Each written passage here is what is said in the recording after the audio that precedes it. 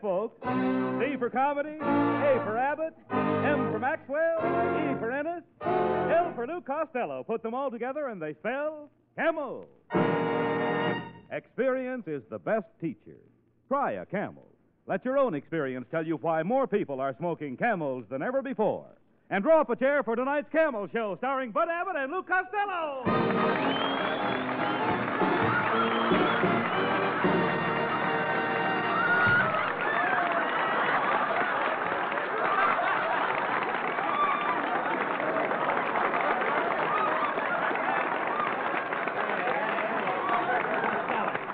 Costello, will you please?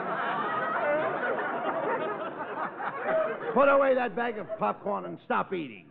All you do is eat. You're getting fatter every minute. I am not getting fat. Everybody says I'm getting slim as an eel. You're getting slim as an eel. Sure, when people see me, they say, Here comes Costello. What a slim eel. hey, Abbott, besides, I don't want to get fat. Getting fat is expensive. Oh, how can getting fat be expensive? Well, I got a battleship tattooed on my chest, and every time I gain 10 pounds, I got to put on another lifeboat. Don't oh. talk sense. Just look at you. How'd you get that? Hey, how did you get that lump on your head? And all those bruises on your face? Well, last night I called on the little redhead that lives next door, and she told me to take her in her arms and forget everything. And did you? Yes, I forgot that the lights were on, the shades were up, and her father was in the next room. Costello, you've got to stop chasing after every girl you see. Do you want to become a masher? I wouldn't mind being a masher if I could pick my own potatoes. Now, look. Look, what were you doing at the, this little redhead's house? You- You, Oh. told me you had a date with Marilyn Maxwell. Well, I did, have it, but Marilyn busted it. She didn't want to go out with me no more. She says we're intellectual opposites. You and Marilyn are intellectual opposites? Yep, she's intellectual and I'm the opposite. I don't blame Marilyn. You've been taking up her time for a whole year, and you've never proposed to her. oh, I did propose to Marilyn Abbott, but her answer had a string to it. Her answer had a string to it. Yeah, she told me to go fly a kite. I, uh, I mean, you don't know how to propose to girls. You've got to make them think they are everything, and you're nothing. I tried that too, Abbott. I said to her, Marilyn, I am nothing. I have nothing. I can't give you nothing. What did she say? Nothing. Where, where did you propose to her? Well, in a lunchroom, we were eating meatloaf. Ah, no wonder Marilyn keeps turning you down, proposing to a girl over a plate of meatloaf. You should take her out and gaze at the stars. The skies are full of things we know nothing about. So is meatloaf. I... Oh, hello there, boys. Why, it's Marilyn Maxwell.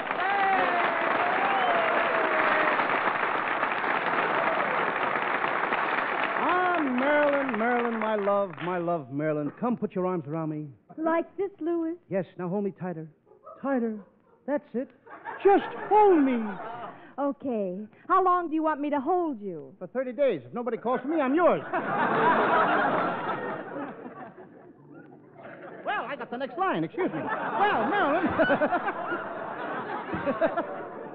Ma- Marilyn, when I'm close to you like this, I can't seem to break away. Something keeps snapping me back. Is it uh, love? No, you're standing on my garter. Hey, Costello, she seems in a good mood. Why don't you pop the question again? Huh? Okay. Pop the question again. Okay, Wait. Marilyn, you know how I feel about you. I don't know how to say this, but do you think that two people can live on $75 a week? Well, what are you talking about, Louis? I make that much myself. That's what I'm talking about. Oh, no, Louis. The man I marry must be romantic. well, ain't I romantic? Didn't I come to your house Sunday night and bring you a big box of Cracker Jacks? Yes. Then, I, then you held my hand, and I held your hand, and then you held my hand again. Is that any way to make love? No, but do you know a better way to make a box of Cracker Jack last all night? Marilyn, I'll prove to you that I can really make love. I'll give you a real burning kiss that will set you on fire. All right, Louis, give me a real burning kiss. There. How was that? You better throw another log on the fire. Well, oh, gee. Did you hear that, Costello? No, Marilyn is not the girl for you. She's a nice girl and all that, but she's snobbish. Oh, yes. I mean, I, I, mm, what'd you say? I said Marilyn's snobbish. She is not snobbish. She's an American just like you and me. Don't call Marilyn snobbish when she ain't. No, I, I, I, no, you dummy. I mean, she's snobbish. She's aloof. Make up your mind, Abbott. Is she snobbish or aloof? Oh, about 50 50. I'd say she was half snobbish and half aloof. Well, a half aloof is better than none. No, no, no. Costello, you're talking about a loaf. I'm talking about a aloof. Marilyn is aloof. She's well bred. How do you like that? Now Marilyn is a loaf of bread. Next thing you'll be telling me she's a jelly donut. Oh, Costello, will you listen to me? I'm trying to describe Marilyn's character. Haven't you noticed how she goes about with perspicacity? Good. When did she start going with Percy Cassidy? No. Percy Cassidy is still going steady with Cynthia Rosenblatt. No, no, you idiot. Perspicacity is not a person. Perspicacity means a distinction. Anyone can have perspicacity. You have perspicacity. Therefore, you have distinctness. I got what? You have distinctness, distinctness. You don't smell so good yourself. Stop that. I said you have distinctness. You are distinguished. Or, as they would call you in French, distingué. Could I have that again in French? In French, uh, certainly. That French, uh, you see, the French change the last two syllables. In English, it's distinguished. In French, it's stingé. Abbott, they don't speak French in Paterson. And everybody there used to call me Stingay. hey, Stingay! Costello, you're impossible. Merle Maxwell is, is smart to keep away from you. It proves she's astute. yes, it, it, it, it, it. Could I have the last one again? Astute! Astute. Abbott, astute all I'm going to astute from you. I can't astute anymore. Look, Costello, will you listen to me? When I say Marilyn is aloof, uh, I'm not talking about a, a loaf. Uh, aloof is a, a mark of character, like distinctness. And a person who uh, is distinct has perspicacity, and perspicacity makes one astute. Oh, when you say aloof, you're not talking about a loaf. No. Aloof is a mark of character like distinctness. And a person who is distinct has perspicacity. And perspicacity makes one astute. Now you're in there pitching. I may be in there pitching, but the batter is knocking my brains out.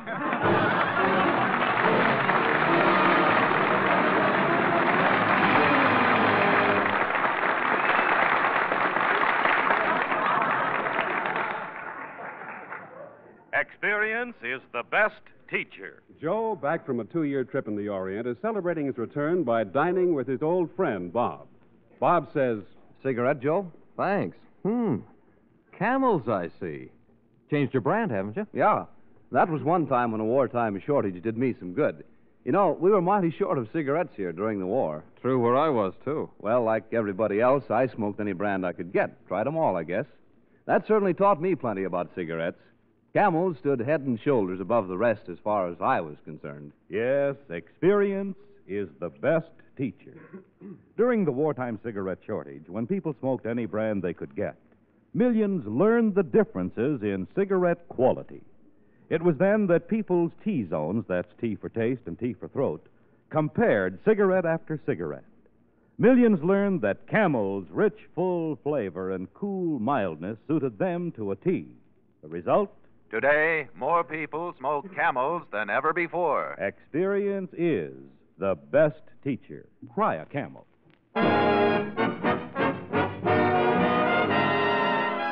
And while you light up a camel, hear Skinny Annister sing It's the Same Old Dream. I can see a steeple surrounded by people. Oh, how real it all starts to seem. Just as the choir is singing, my alarm starts ringing. It's the same old dream. And then my thoughts inspire a scene by the fire in a cottage close by a stream. I know it all by heart now. We're about to part now. It's the same old dream. If you but knew how many times I pretend that I'm with you, I'm sure your heart would unbend. You'd see me through until my dream had a happy ending. I can picture clearly the things I love dearly. In the center, you reign supreme. We kiss, and I discover I'm a lonesome lover. It's the same old dream.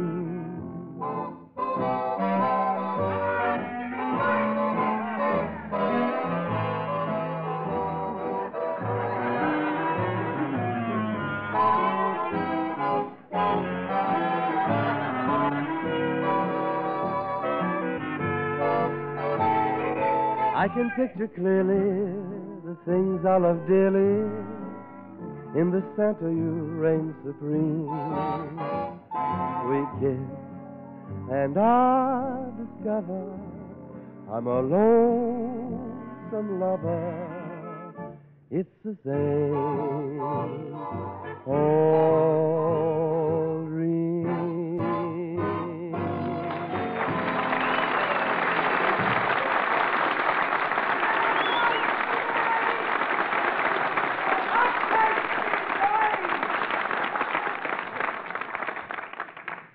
Gee, Abbott, I've been talking to Marilyn and she turned me down again. Life means nothing without her. I don't care what happens. Costello, now. Costello, put that gun down. It might go off. I don't care. But it's pointed at me. That's why I don't care. Now listen, you dummy. boy, Skinny! Now, wait a minute. Listen to me, you dummy. You can win Marilyn by impressing her. She's impressed with uh, by celebrities. So all you have to do is uh, become famous, get your name in the paper. I know what I'll do, Abbott. I'll start a fight with you. No, no, fighting with me won't get your name in the papers. At Ciro's? No, uh, now, look, look. Will you? Listen to me? To get into the papers, you've got to get. Will you listen to me? I'm listening! I want to get your face in the papers. But you've got to get mixed up with somebody big. Okay, then I'll fight Joe Louis. I, you're not afraid of Joe Louis? No, Abbott, I'm not afraid of Joe Louis. Well. I'll go right up to him and I'll say, Joe Louis, put up your dukes. I ain't afraid of you. I'll knock your block off. That's what I'll say to Joe Louis.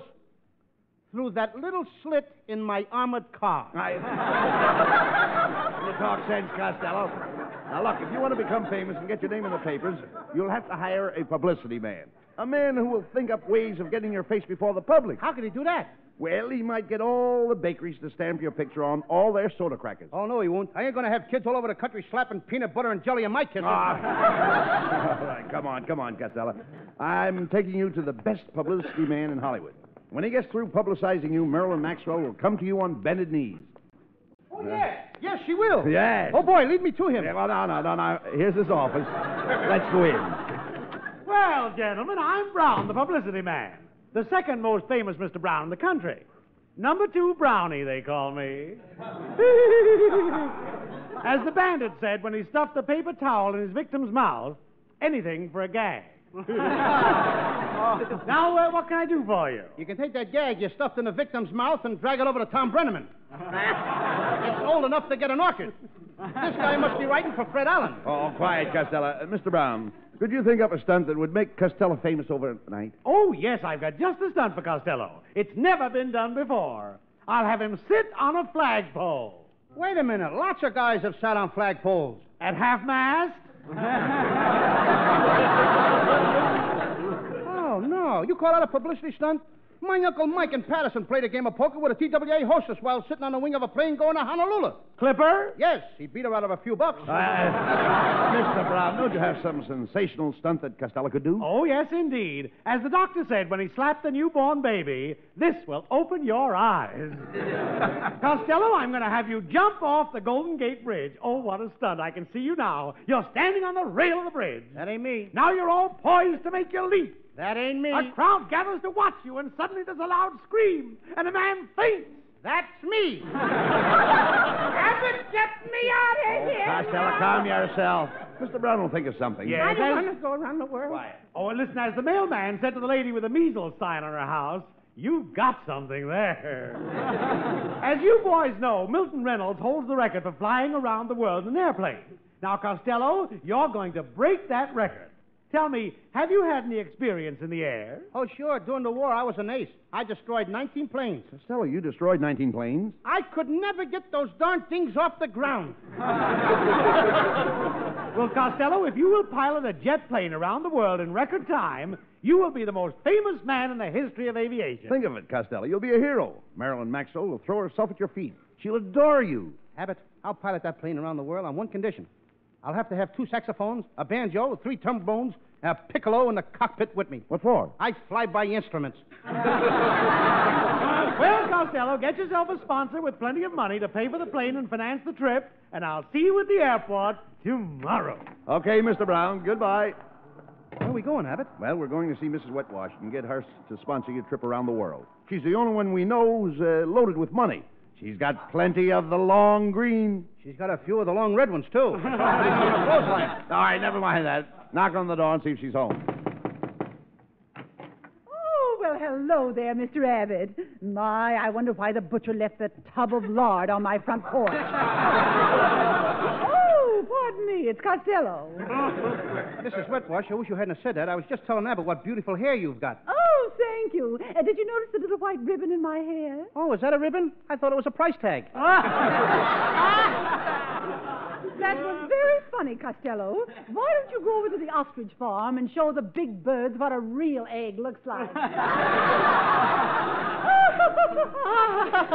I love to see you laugh, Mrs. Whitwash. Your teeth sparkle so. well, they should.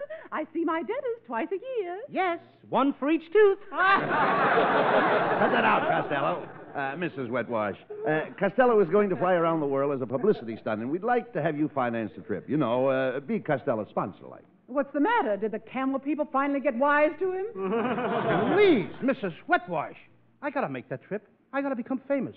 If you put up the money, I'll give you my personal note. Oh, very well. I'll loan you the money. But I'll bet you don't pay me back until I'm 60. Abbott, she wants the money back in three days. All right. Quiet, Costello. Mrs. Wetwash, make out the note, and Costello will sign it. Oh, very well.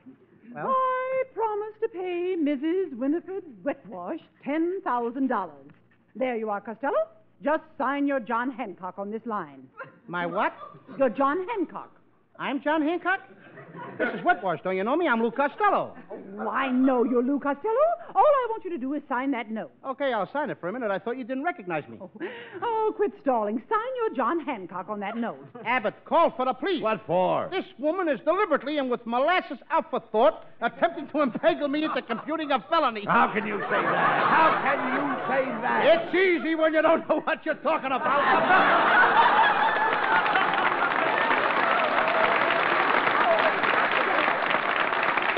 Costello, when I say you're John Hancock, I don't mean you're John Hancock. I mean when you sign Lou Costello, that is your John Hancock, even though you're Lou Costello. Oh, you mean when you say you're John Hancock, you don't mean you're John Hancock. You mean when I sign Lou Costello, that's my Jane Hunk, John Hancock. Even though. Why don't they make it bigger print?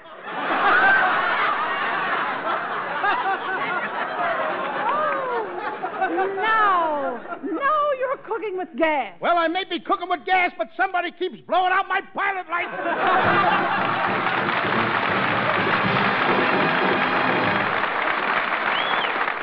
The makers of Camel cigarettes present lovely Marilyn Maxwell from Metro Goldwyn Mayer, producers of High Barbaree. For her Camel fans everywhere, Marilyn sings. Mama, tell me, do I gotta? Mama, tell me, do I gotta? Do I gotta kiss him every night? Mama, tell me what is proper. How did you react to Papa? You should know, cause Ma, you did alright. If I play hard to get, will I lose him? When he wants a kiss, should I let or should I refuse him? Mama, tell me, do I gotta? I don't want my dreams to totter. I don't want this love of mine to skip. So, Mama, let me kiss him, cause I did.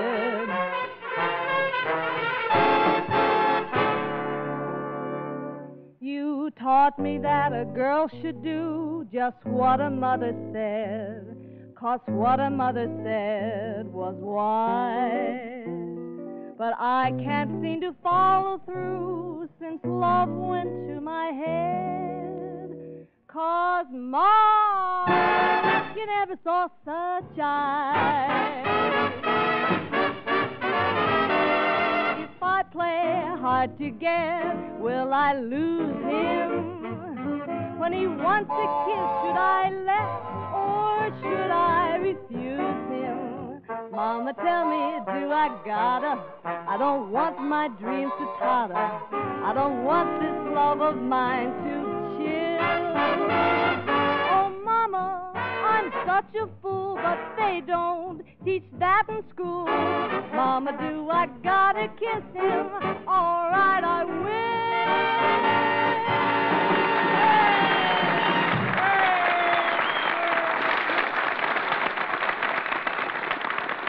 Your T zone that's T for Taste and T for Throat is your true proving ground for any cigarette. Try a camel and let your T zone be the judge. See if your taste isn't particularly pleased with Camel's rich, full flavor. See if your throat isn't extra happy with Camel's cool mildness. Try a camel on your T zone now. According to a recent nationwide survey, more doctors smoke camels than any other cigarette. Three leading independent research organizations asked this question of 113,597 doctors What cigarette do you smoke, doctor? The brand named most was Camel. Hey, Costello, Costello. I've been looking all over the airport for you. I I hope you picked a good fast plane for our trip around the world. Abbott, I got a real fast plane. Last night I tested it out, and it went 200 miles an hour. 200 miles an hour? That's not fast. I know, but today they're going to put in the motor. I, I, you... you idiot. I don't know why I'm going on this trip with you. You know absolutely nothing about airplanes. I do, too. I worked in an airplane factory during the war. I used to put girdles on P 40s and make them into P 38s. No. When did you put girdles on airplanes? During the Battle of the Bulge. Yeah, dummy, this is a very important flight. Now, we've got to beat Reynolds' record. Get your name in all the papers and make you a hero in Marilyn Maxwell's eyes. Uh, we're taking off in a few minutes. Have you checked all the equipment? Yes, it's all in the plane. I got the altimeter, the velocimeter, pressure meter, and a pair of pink tights. What are the pink tights for? I want to look nice when I'm coming down the runway. Hiya, fellas. Uh, hiya, Skinny. Hiya, Skin. Skinny, we're about to take off on a trip around the world. Costello is going to try and set a new record. Well, that's good. I'm just about to take off myself on a solo flight. If you're going up in a plane, what are you doing with that big can of maple syrup? Oh, I always take that along in case I have to make a pancake landing. Hello,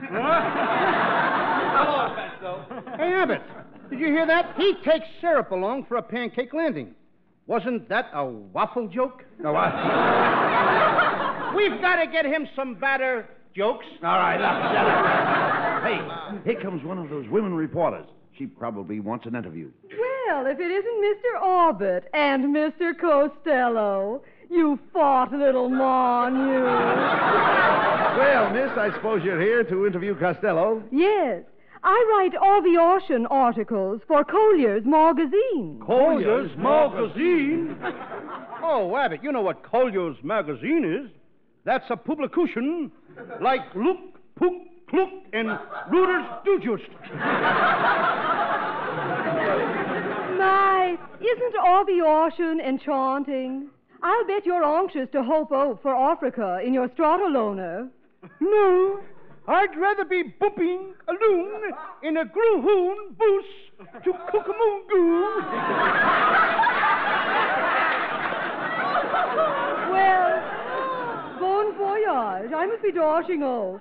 As we say in Spanish, Yura mañana usted paracuta la vista you? And your mother's busted parachute in a kiss of you, too. There you are, boys. I've got everything arranged for your trip. What a publicity stunt this is going to be. I telegraphed to the mayor of New York, and the people are getting ready for you to fly over the city. What are they doing? Taking down the Empire State Building. Wait a minute, Costello. Why have you got your goggles around your neck?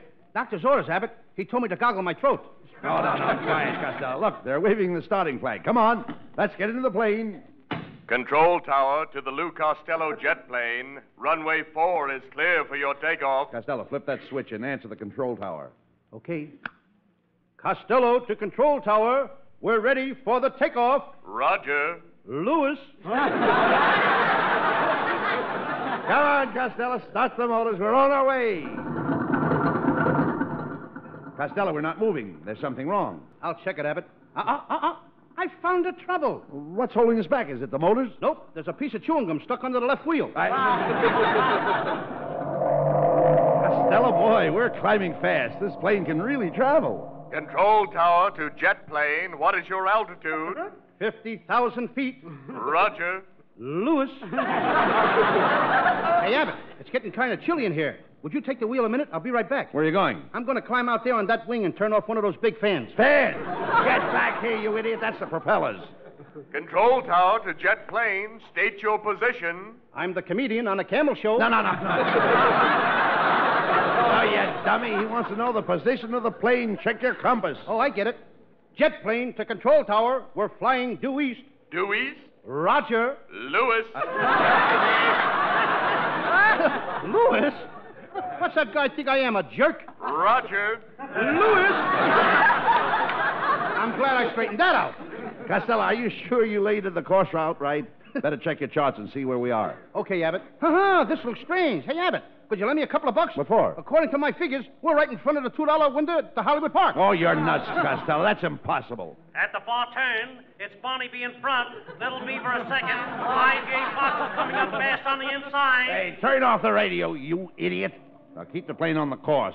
Keep the throttles open. I'm going to take a nap. And don't call me unless you need me.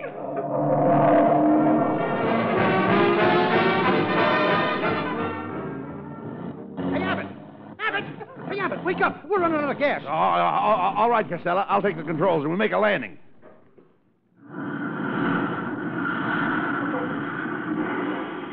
All right, Costello. Jump out and let's see where we are. Hey, Abbott, just as I thought, we're lost. We're lost in a strange land. My, this is a peculiar looking place. Look, there's something moving over there. It's a native. Question him and see if he can find out what country this is. Okay. Hey, you. Me, Costello. Me fly great airplane around the world. Me lost. Could you tell me what strange land me in? You're in Glendale, you jerk. Hey, Abbott! Hey, Abbott! We made it! We're! We're in Glendale! Yeah. Hey, look. Here comes Mr. Brown, our publicity man. Well, Costello, I want to congratulate you on your magnificent achievement. You have made a great contribution to science. You mean I've flown around the world in the shortest time? No, but you went from Los Angeles to Glendale in the longest time. Think of it 67 hours to go three and a half miles. Did you hear that, Abbott? It only took us a half hour longer than the Glendale bus. Oh, get him.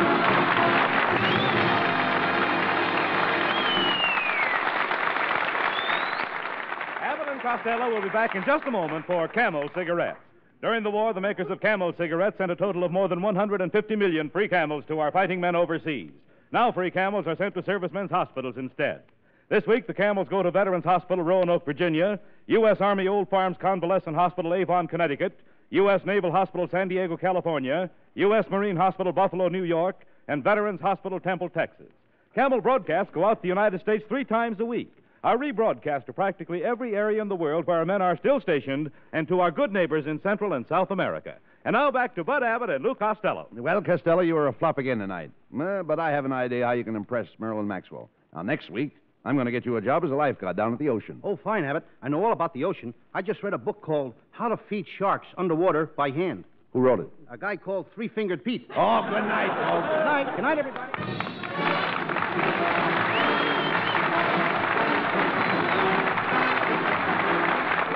Again next Thursday night and hear what happens when Bud Abbott and Lou Costello get a job as a lifesaver. We don't know what flavor they'll be, but a lot of things can happen, so don't miss it.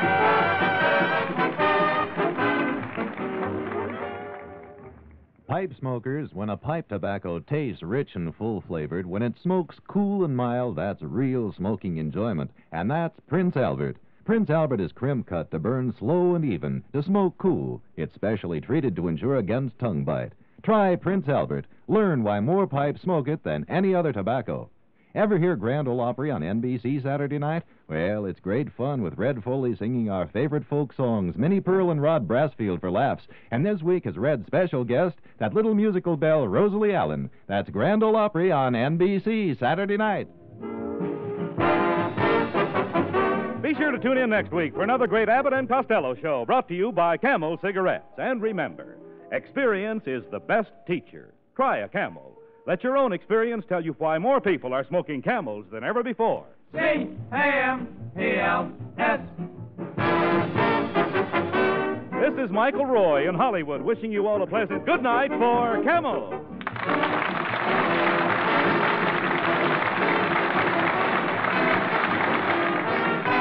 Tuned now for the Eddie Cantor Show. This is NBC, the national broadcasting company.